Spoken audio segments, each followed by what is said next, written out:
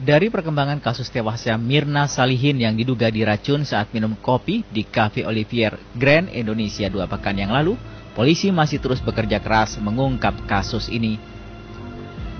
Hingga kini Polda Metro Jaya belum menetapkan tersangka dalam kasus ini. Polisi masih memerlukan keterangan tim ahli dan saksi serta hasil forensik.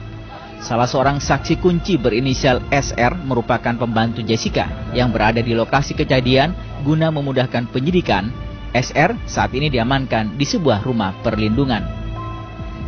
Saat ini polisi tengah disibukkan mencari barang bukti berupa celana saksi yang dibuang karena robek.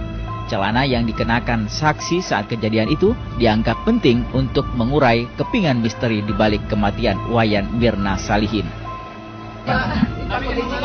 Nah, kami ada keterangan dari salah satu saksi kunci.